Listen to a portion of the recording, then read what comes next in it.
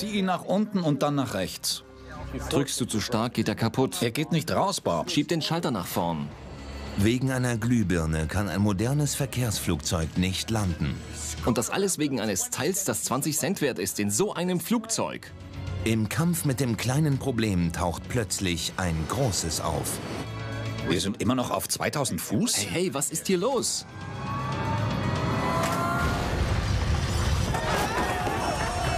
Das Flugzeug stürzt in einen abgelegenen Sumpf. Die Überlebenden des Absturzes stehen einer neuen Gefahr gegenüber. Der Sumpf füllt sich mit Treibstoff. Keiner zündet ein Streichholz an. Eastern 401 war ein bedeutender Unfall in der Luftfahrtgeschichte. Der Absturz sollte die Ermittler auf eine Gefahr in allen Cockpits von Verkehrsflugzeugen aufmerksam machen.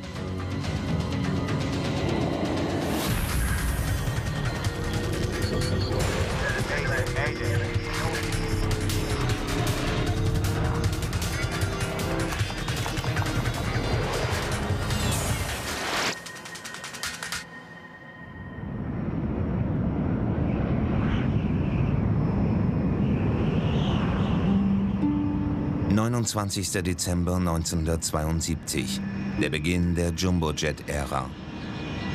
Die L-1011 TriStar ist zu diesem Zeitpunkt das modernste Passagierflugzeug der Welt. Sie ist gerade auf dem Weg nach Florida. Die Lucky TriStar war eine faszinierende Maschine. Ein wunderschönes Flugzeug, sehr leistungsstark und innovativ.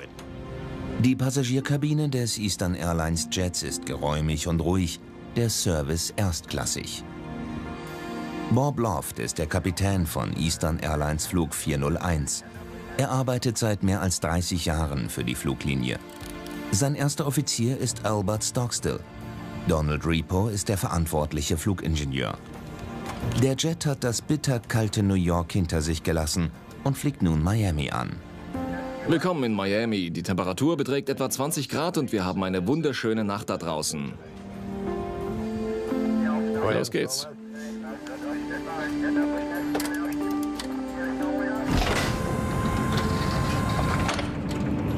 Angelo Donandeo ist Wartungsexperte bei Eastern Airlines.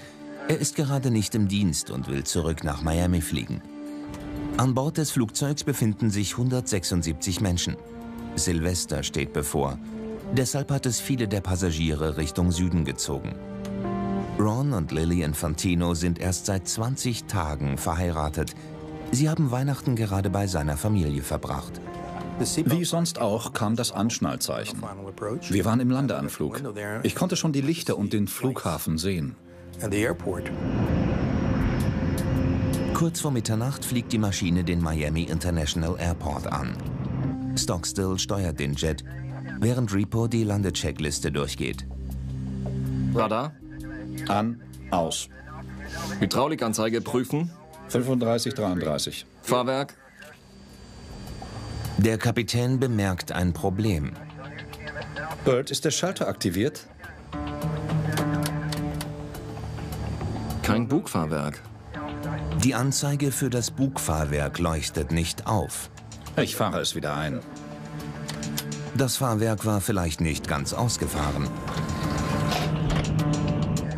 Loft versucht es erneut. Das Geräusch des ausfahrenden Fahrwerks hallt durch das Flugzeug. Es macht ein ziemlich lautes, knirschendes Geräusch. Und nach einigen Flügen kennt man es. Die Piloten haben es mehrere Male ausgefahren. Doch wir waren nicht besorgt. So etwas kommt vor. Wir haben nur gesagt, toll, jetzt kommen wir später heim. Die Anzeige bleibt dunkel.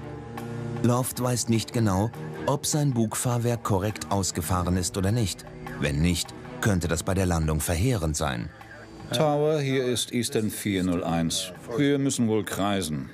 Das Licht für unser Bugfahrwerk leuchtet noch nicht auf. Eastern 401 Heavy Roger. Ziehen Sie hoch auf 2000 Fuß und melden Sie sich bei der Anflugkontrolle auf 1.28.6. Soll ich die Lichter überprüfen? Ja, überprüf sie. Flugingenieur Repo führt einen Test mit dem Spitznamen Christbaum durch, bei dem jedes Warnlicht im Cockpit einmal aufleuchtet. Damit will er kontrollieren, ob alle Glühbirnen funktionieren. Doch das Licht für das Bugfahrwerk leuchtet nicht auf. Wahrscheinlich ist die Birne durchgebrannt. Doch es könnte auch etwas anderes bedeuten. Sowohl die Glühbirne als auch das Fahrwerk könnten defekt sein. Bob, könntest du an dem Licht wackeln? Aber der Kapitän kann die fehlerhafte Birne nicht erreichen. Am Boden gibt die Flugsicherungszentrale Flug 401 die Anweisung, auf 2000 Fuß zu steigen und in einiger Entfernung vom Flughafen zu kreisen, bis das Problem gelöst ist. Soll ich fliegen, Bob? Auf welche Frequenz sollten wir gehen, Bert? 1,28,6. Ich rede mit ihm. Es ist genau über diesem roten? Ja, ich komme von hier nicht ran. Ja, ich kriege es auch nicht raus.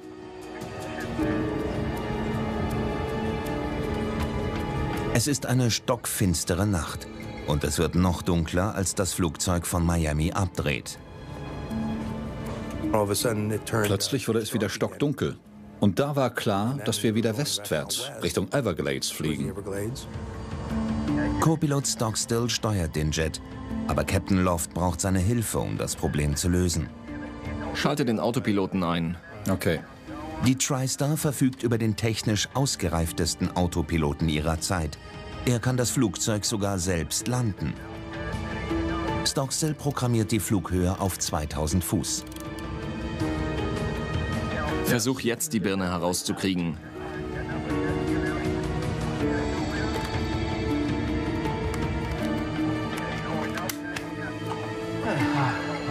Endlich haben sie es geschafft.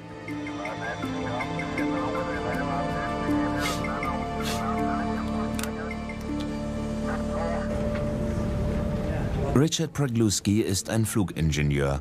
Er fliegt diese Strecke regelmäßig. Ihm ist bewusst, dass das Flugzeug technische Probleme haben muss. Wir flogen Richtung Everglades. Ich wusste, dass mit dem Flugzeug etwas nicht stimmt. Ansonsten wären wir nur Kreise geflogen. Die Probleme im Cockpit setzen sich fort. Jetzt bekommt Stockstill die Leuchte nicht wieder hinein. Jetzt drück den Schalter einfach nach vorne. Ah, okay. Du hast ihn seitlich. Eastern 401 halten Sie Kurs nach links Richtung 300. Okay, 300 Eastern 401. Hey, geh nach unten und schau nach, ob dieses verdammte Bugfahrwerk ausgefahren ist. Der Elektronikraum des Flugzeugs befindet sich unter dem Cockpit. Dieser Raum mit dem Spitznamen Höllenloch ist für Großraumjets typisch. Von dort aus kann man das Bugfahrwerk sehen. Hast du ein Taschentuch oder so etwas, dass ich es besser halten kann? Jetzt nach unten ziehen und nach rechts drehen. Und jetzt einmal nach links drehen. Geh nach unten und sieh nach, ob das verdammte Ding... Es geht einfach nicht, Bob. Wenn ich eine Zange hätte, könnte Och, ich das es mit einem Tempo so- reinschieben. Ich kann dir eine Zange geben, aber drückst du zu stark, geht es kaputt. Glaub mir einfach. Zur Hölle damit, verdammt nochmal. Geh nach unten und sieh nach, ob es auf die rote Linie ausgerichtet ist. Das alles wegen eines Teils, das 20 Cent wert ist. In so einem Flugzeug. Die Crew ist mit der Problemlösung beschäftigt.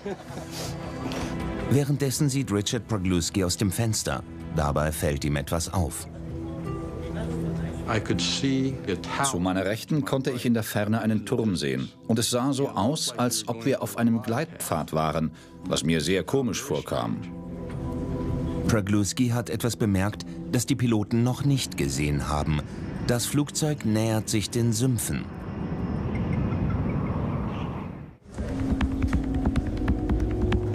Eastern Airlines Flug 401 kreist über den Everglades in Florida. Unter ihm liegt eine pechschwarze, unbewohnte Sumpflandschaft. Passagier Progluski hat das Gefühl, dass etwas nicht stimmt. Mir kam es komisch vor, dass sie keine Durchsage gemacht hatten. Aber wir waren immer noch ziemlich hoch in der Luft. Und ich dachte, dass sie uns schon sagen würden, wann wir landen. Ich war also nicht allzu besorgt. Ist es falsch herum drin? Es ist wie verhext. Kommst du nicht irgendwie von der Seite ran? Ich weiß nicht, warum dieses Ding so verdammt fest ist. Irgendwas klemmt immer. Wir hätten es melden können. Ohne das grüne Licht wissen sie immer noch nicht, ob das Fahrwerk korrekt ausgefahren ist.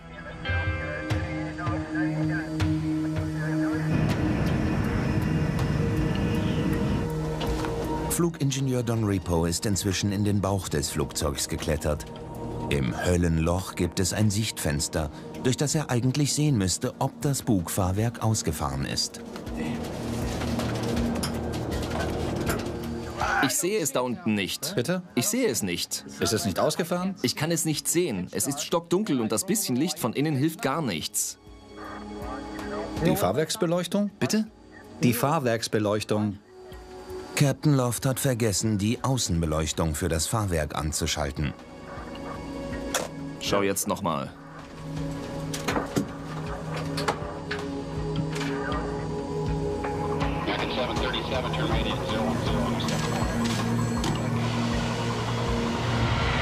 Am Flughafen von Miami ist Fluglotse Charlie Johnson gerade mit dem Problem eines anderen Jets fertig geworden. National 607 ist ohne Probleme gelandet. Löschfahrzeuge waren im Einsatz, mussten aber nicht eingreifen. Ihm fällt auf, dass Eastern Airlines Flug 401 offenbar von 2000 auf 900 Fuß gesunken ist. Aber das bereitet ihm keine Sorgen. Es ist nicht ungewöhnlich, dass mehrere aufeinanderfolgende Radarbilder falsche Zahlen liefern. Eastern 401, ist bei Ihnen alles in Ordnung da draußen? Alles okay. Wir würden jetzt gerne umdrehen und neu anfliegen. Captain Loft glaubt, dass er bald die Bestätigung erhält, dass das Fahrwerk ausgefahren ist. Er will zum Flughafen zurückkehren. Eastern 401, nehmen Sie Kurs nach links Richtung 180.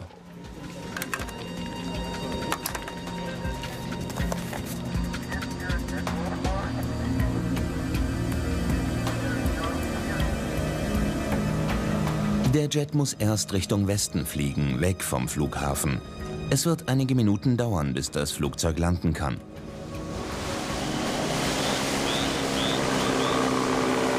Tief in den Everglades jagt Bob Marquis nach Fröschen. Flug 401 donnert über ihn hinweg.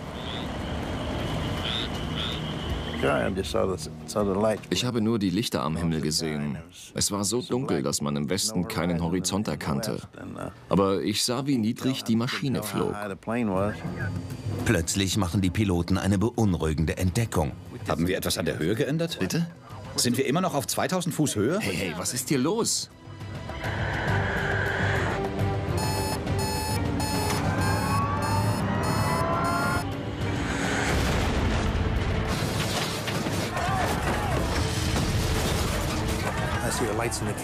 Ich sah die Lichter in der Kabine an und ausgehen. Dann hörte ich ein Geräusch. Auf einmal wurden wir sehr heftig herumgeschleudert und dann herrschte nur noch Chaos.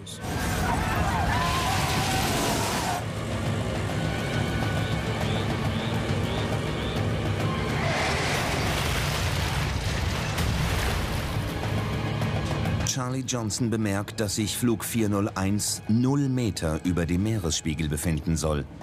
Eastern 401, ich habe Sie nicht mehr auf dem Radar. Wie ist jetzt Ihre Höhe? Aber er erhält keine Antwort von Eastern 401. Dafür macht ein anderes Flugzeug eine beunruhigende Meldung. Miami Flugkontrolle, hier ist National 611. Wir haben gerade einen Lichtblitz gesehen. Wir wissen nicht, was es ist, aber wir wollten es melden.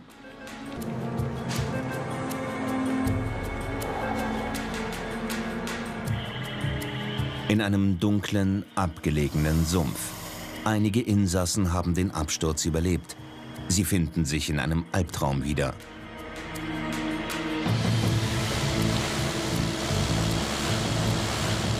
Bob Marquis rast zur Absturzstelle. Ich fuhr so schnell ich konnte, aber ich habe etwa 15 Minuten bis zur Absturzstelle gebraucht.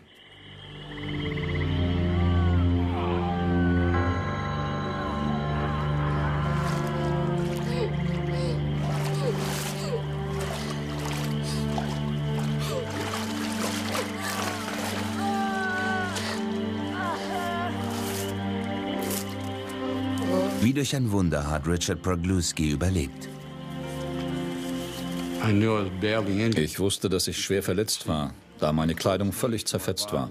Am Oberkörper hatte ich fast nichts an. Und ich konnte die tiefen Fleischwunden an meinen Armen sehen. Außerdem wusste ich, dass man im Schockzustand keine Schmerzen empfindet.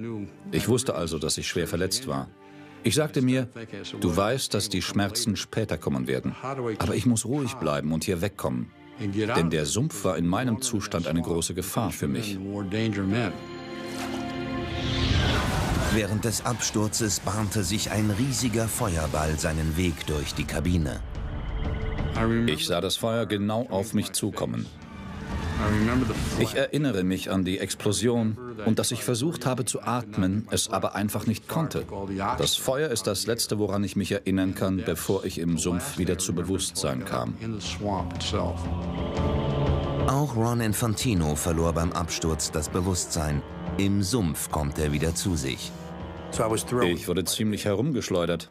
Ich lag da völlig abgelegen und war ganz allein. Lily. Lily. Er ist schwer verletzt. Seine Ehefrau Lily saß neben ihm, aber jetzt ist sie nirgendwo zu sehen.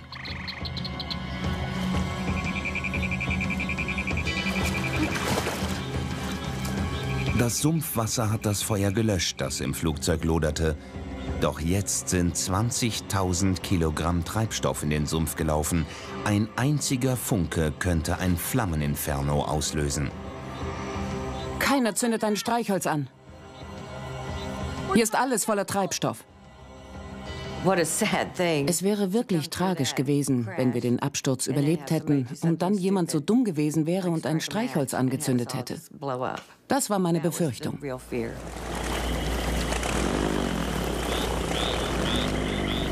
Bob Marcus will den Überlebenden helfen. Deshalb springt er ins Wasser. Doch sofort spürt er das Brennen des Treibstoffs auf seiner Haut.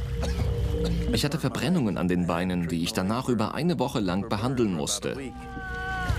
Sofort entdeckt Marcus einen Überlebenden, der in großer Gefahr schwebt. Der schwer verletzte Mann ist noch an den Sitz gegurtet. Er ist kurz davor zu ertrinken.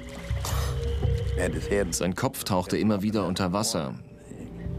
Ich kam näher und er sagte, helfen Sie mir, ich kann nicht mehr. Und dann rutschte sein Kopf wieder ins Wasser. Also habe ich ihm geholfen. Kein Problem, ich habe sie. Ich habe sie. So rettet Bob Marcus mehreren Menschen das Leben. Ohne seine Hilfe wären sie ertrunken. Währenddessen muss Ron Infantino erneut um sein Leben fürchten. Er ist von den anderen Überlebenden isoliert und kann sich nicht bewegen, als ihm eine neue Gefahr auflauert. Nach einer Weile konnte ich hören, wie die Alligatoren und Schlangen näher kamen. Sie schnaubten und rasselten, als sie wieder in ihr Territorium zurückkehrten. Und ich war in diesem Moment für einen Alligator oder eine Schlange einfach nur totes Fleisch. Doch dann hörte ich ein Weihnachtslied.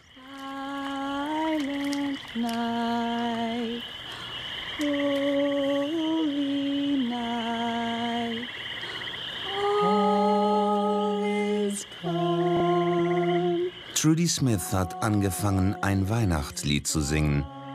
Damit will sie die Hoffnung der Überlebenden aufrechterhalten. Wir wussten instinktiv, dass wir von da nicht so schnell wegkommen würden, weil niemand wusste, wo wir waren. Wir waren mitten im Sumpf. Es war Mitternacht. Was sollten wir also sonst tun? Man muss sich das Bild von uns in der Dunkelheit vorstellen. Man hört nur den Gesang in der Wildnis.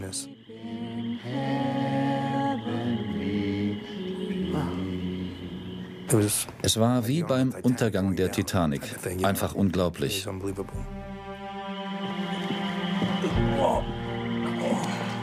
Innerhalb weniger Minuten starten Helikopter der Küstenwache. Sie suchen nach der Absturzstelle, aber in der stockfinsteren Nacht können sie das Wrack nicht finden. Bob Marcus versucht, den Helikoptern in der Ferne Lichtsignale zu senden. Ich konnte sehen, wo sie waren und dass sie in die falsche Richtung flogen. Deshalb schwenkte ich meine Taschenlampe hin und her, bis sie in unsere Richtung flogen.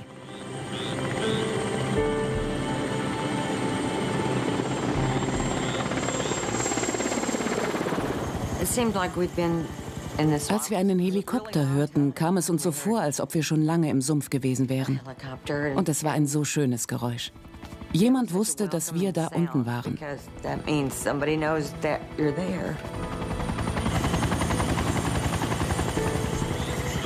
Es ist nicht einmal eine halbe Stunde vergangen, seit das Flugzeug in die Sümpfe stürzte.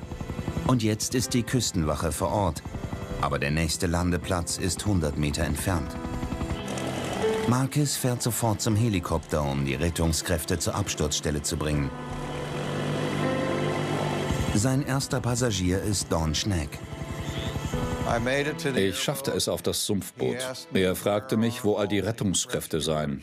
Und ich sagte, da bin ich. Los geht's.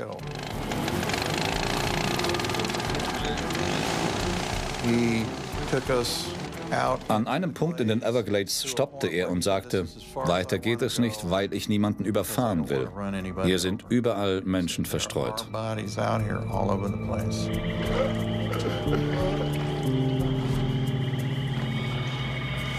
Don Schneck beginnt mit der Suche nach Überlebenden.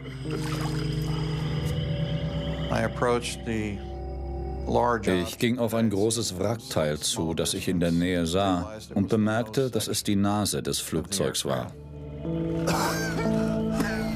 Er ist überrascht, dass der Flugzeugkapitän den Absturz überlebt hat.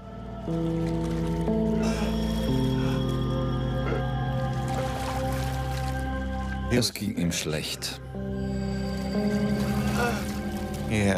An seinen Verletzungen erkannte ich, dass seine Rippen gebrochen waren.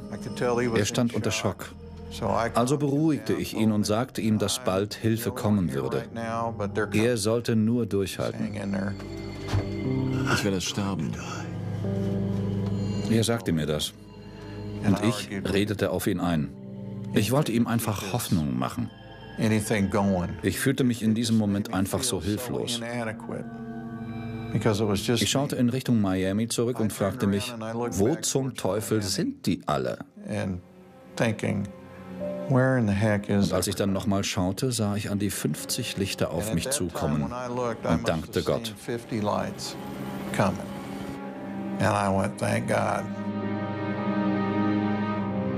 Der erste Offizier Albert Stockstill kam beim Absturz ums Leben. Captain Bob Loft stirbt kurz darauf an der Absturzstelle. Angelo Donadeo und Don Repo überleben und werden ins Krankenhaus gebracht.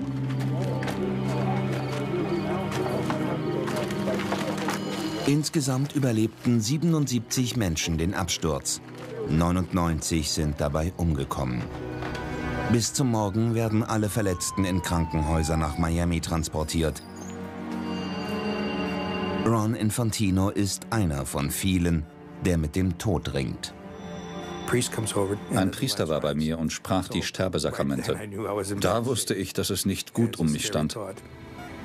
Und natürlich wollte ich zu dem Zeitpunkt wissen, was mit Lily passiert war. Die Nacht war ein einziger Albtraum.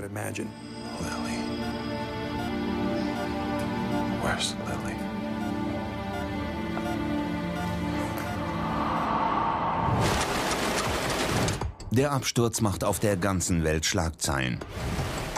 Es ist der erste Absturz eines Jumbojets. Und in der Luftfahrtgeschichte der USA hat es bisher noch nie so viele Opfer bei einem Flugunfall gegeben. Die US-amerikanische Flugsicherheitsbehörde NTSB steht unter großem Druck. Sie muss jetzt die Geschehnisse aufklären. Es war ein großes Rätsel, weil es das neueste, das technisch ausgereifteste, das beste Passagierflugzeug war, das scheinbar problemlos funktionierte. Also dachte das NTSB, dass eine lange Untersuchung auf vielen Ebenen notwendig sein würde.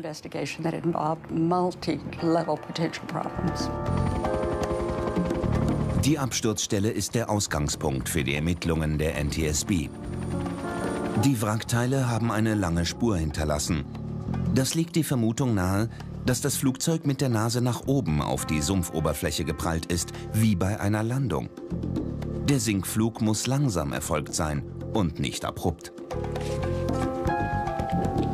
Die NTSB-Ermittler dokumentieren die letzten Parameter der Instrumente im Cockpit. Dabei entdecken sie, dass der Autopilot das Flugzeug auf einer Höhe von 2000 Fuß halten sollte. Warum tat er das aber nicht? Sie befragen den Wartungsexperten Angelo Donadeo. Er kann den Ermittlern jedoch nur mitteilen, dass die Crew vor dem Absturz versuchte, eine Glühbirne zu reparieren. Innerhalb weniger Tage werden die Blackboxes gefunden. Die Ermittler hoffen, dass sie dadurch einige Antworten erhalten werden. Bevor sie die Daten auswerten können, stirbt Flugingenieur Don Repo im Krankenhaus. Auch Ron Infantino erhält eine niederschmetternde Nachricht. Die Leiche seiner Frau Lily wurde gefunden, unter den Überresten einer Tragfläche. Sie war einfach ein wunderbarer Mensch. Wir waren beide 27 Jahre alt und sie war meine erste große Liebe.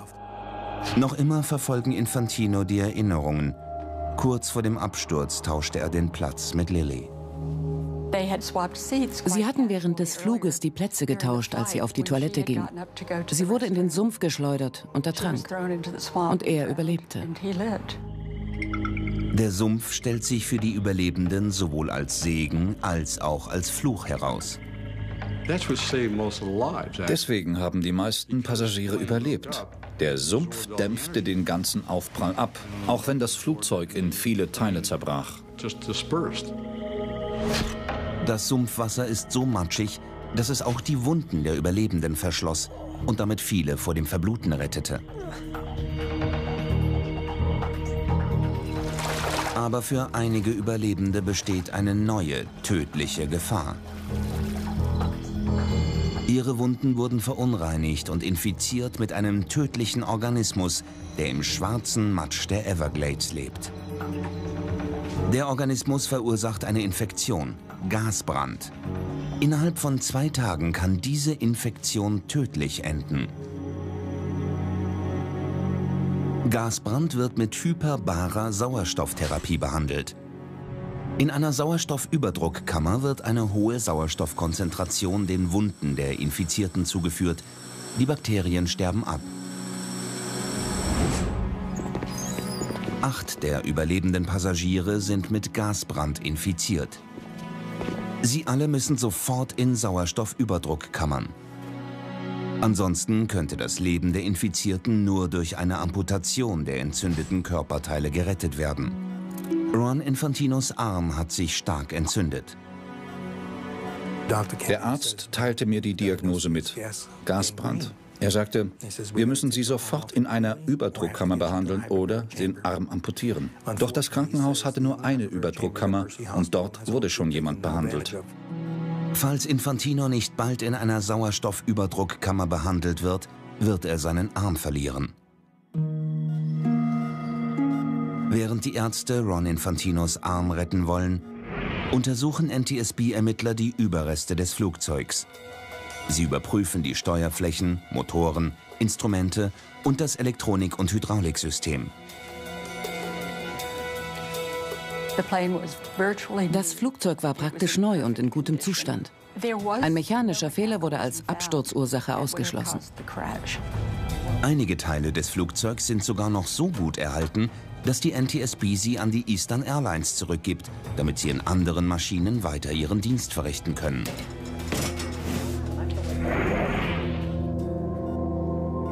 Endlich finden die Ärzte eine freie Überdruckkammer für Ron Infantino in einem Navy-Stützpunkt in Panama City. 40 Stunden verbringt er in der Kammer. Die hohe Sauerstoffkonzentration tötet die Bakterien und rettet ihm das Leben. Meine Herren, wir müssen drei mögliche Absturzursachen untersuchen. Ein Flugzeug auf dem neuesten technischen Stand verlor 2000 Fuß an Höhe, ohne dass es die Crew bemerkte. Und die Maschine hatte keine mechanischen Defekte. Die Ermittler konzentrieren sich jetzt auf andere mögliche Gründe für das unbemerkte Absinken. Ganz oben auf der Liste steht die subtile Arbeitsunfähigkeit des Piloten. Bei der Autopsie von Captain Bob Loft wird eine grausige Entdeckung gemacht. Captain Loft hatte einen großen Tumor, der unbemerkt in seinem Gehirn wuchs. Er drückte auf das Gehirnareal, das für den Sehsinn zuständig ist. Aus der Krankenakte des Piloten geht hervor, dass zwischen seinem 50. und 52. Lebensjahr das Sehvermögen seines linken Auges zunehmend abnahm. Die Ärzte vermuten, der Kapitän wusste um sein eingeschränktes Sehvermögen. Zudem hätte der Tumor blinde Flecke verursachen können. Während des Fluges beschäftigte sich Loft die ganze Zeit mit der defekten Glühbirne, Vielleicht bemerkte er die Anzeige seines Höhenmessers einfach nicht. Die Ermittler ziehen eine erschreckende Absturzursache in Betracht. Ein unbemerktes medizinisches Leiden hat eventuell zum ersten Jumbojet-Absturz der Geschichte beigetragen. Sind wir immer noch auf 2000 Fuß Höhe? Hey, hey, was ist hier los? Die Ermittler finden über Captain Loft so viel heraus, wie sie können. Sie befragen Menschen, die ihn kannten, und durchforsten seine Krankengeschichte. Die Ermittler erfuhren, dass Captain Loft seiner Familie und seinen Freunden zufolge ein sehr gutes Sehvermögen hatte. Er war ein exzellenter Schütze. Er schoss Tauben, die ein sehr kleines Ziel darstellen. Aus Lofts Akte geht hervor, ihm wurde kurz vor dem Absturz eine Brille für das Fliegen verschrieben. Allerdings ist das kein entscheidender Hinweis, dass sein Sehvermögen gefährlich beeinträchtigt war. Er war 55 Jahre alt. Und wer wird schon 55, ohne eine Lesebrille zu haben? Dr. Joe Davis, der zuständige Pathologe, sagte mir, obwohl der Tumor auf den Teil des Gehirns drückte, der für das Sehen zuständig ist, war das Sehvermögen noch nicht beeinträchtigt. Er glaubte, das hatte nichts mit dem Unfall zu tun. Bis jetzt wissen die Ermittler nicht einmal, warum Flug 401 überhaupt von seiner Flughöhe abkam. Schalte den Autopiloten ein. Hatte womöglich der Autopilot einen Defekt, der das Flugzeug auf 2000 Fuß halten sollte? Die Flugzeugcomputer haben den Absturz unbeschadet überstanden. Sie werden ausgebaut und überprüft. Elf Tage nach dem Absturz wird der Autopilot in einer anderen TriStar montiert. Sie fliegt die gleiche Route wie Flug 401. Dieses Flugzeug hält der Autopilot auf 2000 Fuß. Aber warum tat er das nicht bei Flug 401? Doch das werden die Ermittler noch herausfinden. Bei der Untersuchung taucht eine weitere Frage auf. Warum machte der Tower in Miami die Crew nicht darauf aufmerksam, dass sie an Höhe verlor? Das erste dreidimensionale Radar der Welt war erst vor kurzem in Betrieb genommen worden. Das bedeutet, Fluglotse Charlie Johnson wusste genau Bescheid über Position, Höhe und Geschwindigkeit von Flug 401.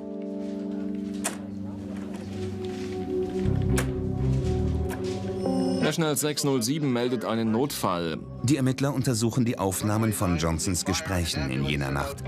Dabei fällt ihnen etwas auf. Ein anderes Flugzeug beanspruchte in der Absturznacht all seine Aufmerksamkeit. National Airlines Flug 607 sollte kurz vor Flug 401 landen. Dieser Flug hatte jedoch seine eigenen Probleme mit dem Fahrwerk. Auf Landebahn 9 werden sofort Löschfahrzeuge und Krankenwagen benötigt. Während sich Johnson um den Notfall kümmerte, teilte er Flug 401 einem anderen Fluglotsen zu.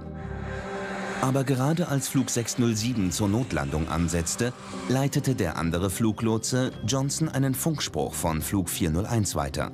Eastern 401 Heavy meldet sich wieder. Bugfahrwerkprobleme. Oh nein. Zu diesem Zeitpunkt befand sich Flug 401 schon über den Sümpfen. Doch Johnson musste sich um fünf weitere Flugzeuge kümmern. Außerdem hatte er noch mit den Folgen der Notlandung zu tun. National 607 ist ohne Zwischenfall gelandet. Zu diesem Zeitpunkt fiel ihm auf, dass Flug 401 auf 900 Fuß gesunken war. Bei der Radartechnik passiert das auch heute noch manchmal. Aber damals kam es noch öfter vor. Man verliert die Höhe des Zielobjekts vielleicht für zwei bis drei Minuten. Man bekommt eine komische Höhe angezeigt und plötzlich ist es wieder da, wo es sein soll. Aber der Lotse gab sich damit nicht zufrieden. Johnson funkte Flug 401 an. Eastern 401, ist bei Ihnen alles in Ordnung da draußen? Alles okay. Wir würden jetzt gerne umdrehen und neu anfliegen. Eastern 401, nehmen Sie Kurs nach links Richtung 180. Nach diesem kurzen Austausch nahm Johnson an, dass es keine Probleme gab. Eastern 401, ist bei Ihnen alles in Ordnung da draußen? Alles okay. Daraus schließen die Ermittler, Fluglotse Johnson war zu diesem Zeitpunkt der Einzige, der bemerkte, dass das Flugzeug an Höhe verlor. Doch warum hat er diese Information nicht der Crew mitgeteilt? Die Antwort findet sich in den gesetzlichen Vorgaben für Fluglotsen. Das war einfach nicht die Aufgabe des Fluglotsen. Zur Zeit des Absturzes gab es eine Anweisung seitens der US-amerikanischen Luftverkehrsbehörde. Die Fluglotsen sollten dafür sorgen, dass sich die Flugzeuge nicht zu nahe kamen. Es war nicht ihre Pflicht, auf die Flughöhe der Maschinen zu achten. Jetzt wollen die Ermittler herausfinden, warum das flugzeugeigene Warnsystem die Piloten nicht vor der drohenden Gefahr warnte.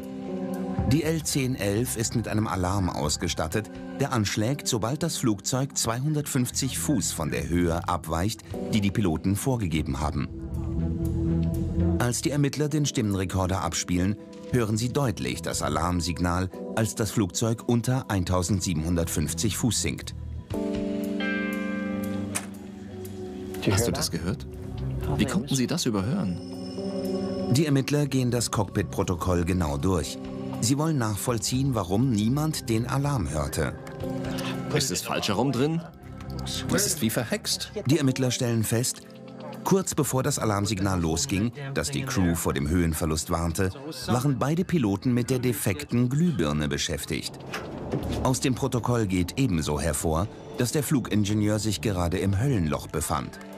Doch das Alarmsignal kam aus einem Lautsprecher an seinem Platz. Jetzt verstehen die Ermittler, warum niemand den Alarm hören konnte. Die beiden Piloten kümmerten sich gerade um ein anderes Problem und der Flugingenieur war gar nicht anwesend. Der Signalton, der auf dem Stimmenrekorder deutlich zu hören ist, drang nicht in das Bewusstsein der Besatzung vor. Nicht, weil sie nicht aufpassten, sondern weil sie so sehr auf dieses eine Problem fokussiert waren.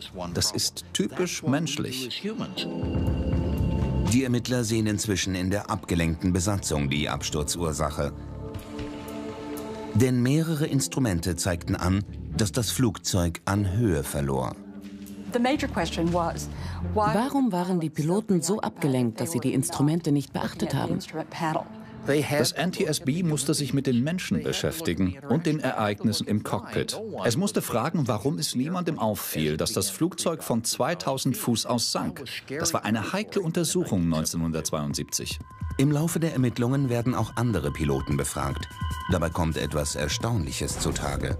Die Piloten geben zu, dass sie viel zu sehr den modernen Autopiloten vertrauen. Vielleicht gaben die Piloten zu viel Verantwortung an die Technik ab. Schalte den Autopiloten ein. Okay. Wahrscheinlich war auch die Besatzung von Flug 401 so von ihrem Autopiloten überzeugt, dass sie nicht mehr so genau ihre Instrumente überwachte, wie es erforderlich gewesen wäre. Mit angeschaltetem Autopilot konzentrierte sich niemand mehr darauf, was das Flugzeug machte. Wir müssen immer noch herausfinden, warum die Maschine abgestürzt ist. Doch die Ermittler haben das wichtigste Rätsel immer noch nicht gelöst. Warum ist das Flugzeug in den Sumpf gestürzt, wenn der Autopilot doch funktionierte? Sind wir noch auf derselben Höhe? Bitte? Im Gespräch der Piloten wird klar, dass sie nicht freiwillig gesunken sind. Sind wir immer noch auf 2000 Fuß? Hey, hey, was ist hier los? Warum ist das Flugzeug also gesunken?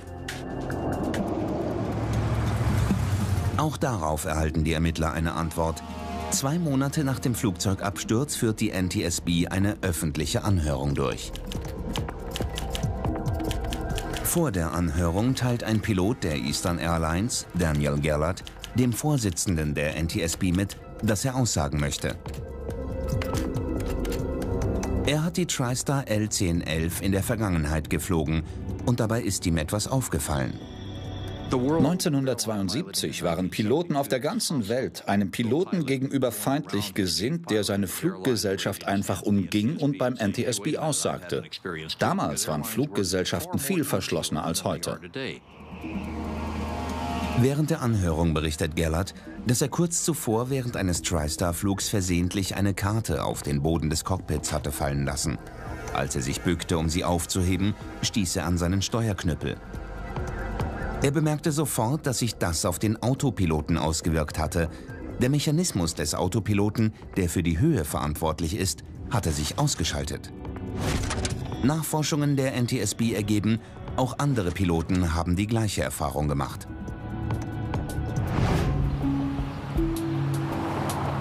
Tatsächlich hängte Eastern Airlines 17 Tage nach dem Unfall sogar ein Informationsschreiben aus und verschickte es an alle TriStar-Piloten. Die Mitteilung warnte vor versehentlichen Stößen gegen den Steuerknüppel. In den modernen Flugzeugen gibt es einen einfachen Mechanismus, einen Druckschalter. Man hat nicht immer die Zeit, um den Autopiloten vorne an der Instrumententafel auszuschalten. Deswegen drückt man einfach und der Autopilot ist aus. Der Flugdatenschreiber verrät den Ermittlern den genauen Zeitpunkt, an dem die Höhe des Flugzeugs langsam abfiel. Es war 23.37 Uhr und 8 Sekunden. Durch die Aufzeichnungen des Stimmenrekorders wissen die Ermittler, was zu diesem Zeitpunkt im Cockpit geschah. Hey, hey, geh nach unten und schau nach, ob dieses verdammte Bugfahrwerk ausgefahren ist. Captain Love drehte sich um, um mit dem Flugingenieur zu sprechen. Dabei ist er wahrscheinlich gegen seinen Steuerknüppel gestoßen, und zwar mit so viel Kraft, dass er den Autopiloten deaktivierte und dieser die Höhe des Flugzeugs nicht mehr hielt. Ohne dass es jemand mitbekam, löste ein leichter Stoß gegen den Steuerknüppel den allmählichen Sinkflug aus. In jener Nacht leuchtete kein Mond und es war so dunkel, dass den Piloten ihr Sinkflug gar nicht auffiel. Man fand heraus, dass ein Autopilot schon durch einen leichten Stoß deaktiviert werden konnte. Vor dem Absturz war es also nicht Teil ihrer Ausbildung? Ein Ausbilder der Eastern Airlines gibt schließlich zu, vor dem Absturz in den Everglades wurde den Piloten nie gesagt, dass ein Stoß den Autopiloten deaktivieren kann. Die NTSB kommt zu einem ernüchternden Schluss. Bei der Absturzursache handelt es sich um einen Pilotenfehler. Die Crew war abgelenkt, sie deaktivierte die ausgereifte Technik und sie wurde nicht richtig ausgebildet. Eastern 401 war ein bedeutender Unfall in der Fluggeschichte. Ungefähr 10 bis 15 Jahre wussten wir nicht, dass die Konstruktion im Cockpit gefährlich war. Darauf machte uns erst dieser Unfall aufmerksam. Die Ermittler machen noch eine tragische Entdeckung. Bei der Untersuchung der Glühbirne, die anzeigen sollte, dass das Bugfahrwerk korrekt ausgefahren ist, stellt sich heraus, dass sie durchgebrannt war. Los geht's. Hau sie raus. Das Fahrwerk von Flug 401 war ausgefahren. Das Flugzeug hätte landen können. Das einzige Teil, das im Flugzeug versagt hatte, war eine kleine Glühbirne. Das volle Ausmaß der Katastrophe von Flug 401 zeichnet sich erst Jahre später ab. Die Pilotenausbildung musste geändert werden. Aber davor nimmt die Geschichte von Eastern Airlines Flug 401 noch eine bizarre Wendung.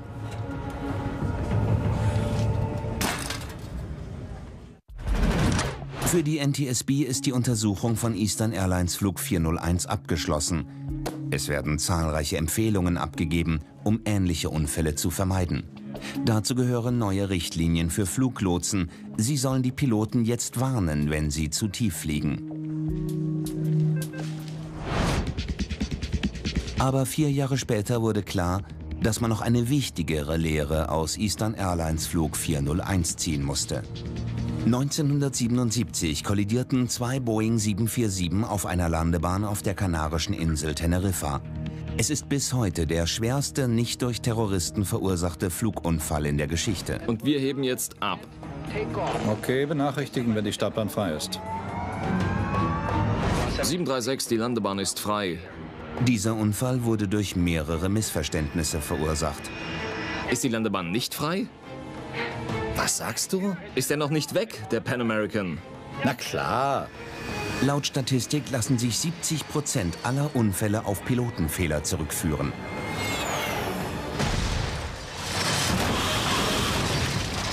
Bei beiden Unfällen, Teneriffa und 401, zeigt sich, dass die Crews gute Arbeit leisten wollten. Doch wir dürfen nicht vergessen, dass sie auch nur Menschen sind. Fehler passieren einfach, denn Menschen machen nun einmal Fehler. Ende der 1970er entwickelte die NASA eine Schulung für Flugzeugbesatzungen, um Pilotenfehler zu reduzieren. Die Piloten suchen nach verschiedenen Verhaltensmöglichkeiten. Sie heißt Crew Resource Management oder CRM. Crew Resource Management bedeutet, es gibt nicht einen Piloten, der das Sagen hat und alle anderen gehorchen. Der Kapitän hat zwar die Führungsrolle, aber er interagiert mit den anderen Crewmitgliedern. Noch Jahrzehnte später wird Flug 401 bei Schulungen auf der ganzen Welt als typisches Beispiel für schlechtes CRM zitiert.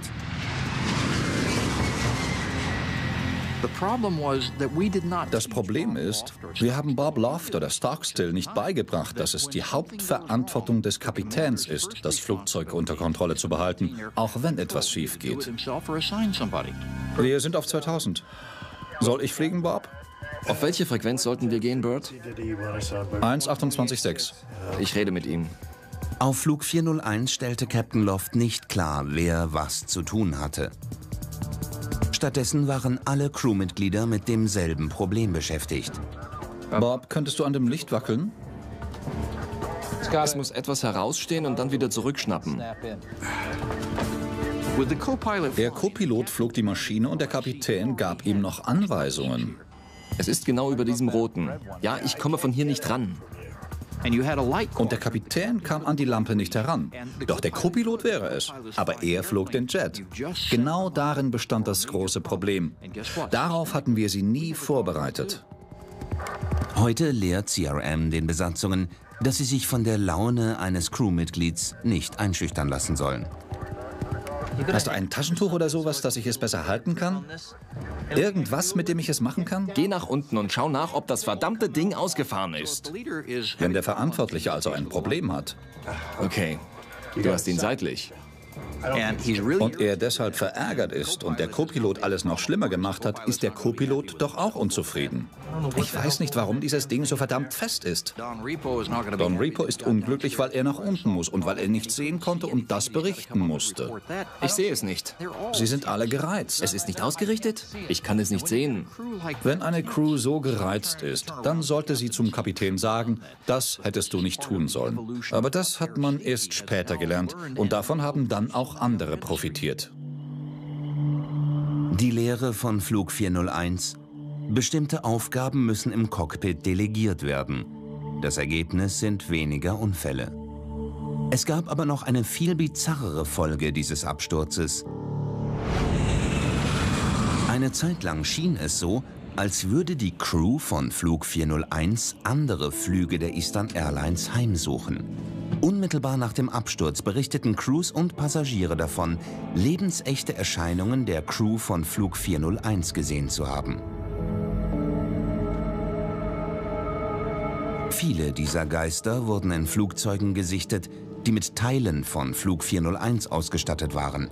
Schnell machten die Gruselgeschichten die Runde. Diesen Geschichten widmete sich sogar ein Buch, in dem die Geister Passagiere und Besatzungen vor einem weiteren Unglück bewahren. Offiziell wies Eastern Airlines diese Geistergeschichten als lächerlich ab. Aber innerhalb der Fluggesellschaft herrschte leichte Panik. Die Berichte über die Geister häuften sich. Schließlich ließ Eastern Airlines die ausgeschlachteten Teile von Flug 401 aus allen Maschinen entfernen. Doch die Überlebenden des Absturzes werden das Grauen nie vergessen, das sie in jener Nacht in den Everglades erlebten. Und 35 Jahre später kehren viele von ihnen in den Sumpf zurück. Sie wollen Bob Marcus endlich dafür danken, dass er so heldenhaft eingriff. Wir wollen heute gedenken und Danke sagen. Viele überlebten, weil Robert Marcus mit seinem Sumpfboot vor Ort war. Er sah, dass sie am Ertrinken waren und rettete kurzentschlossen die, die er retten konnte.